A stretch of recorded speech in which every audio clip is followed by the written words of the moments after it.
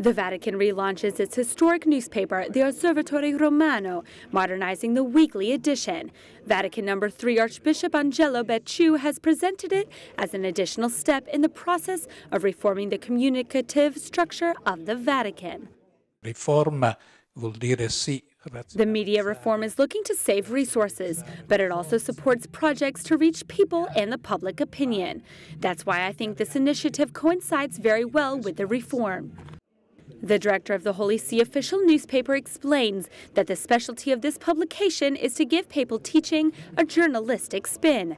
Thanks to this strategy, it has been successful for 155 years.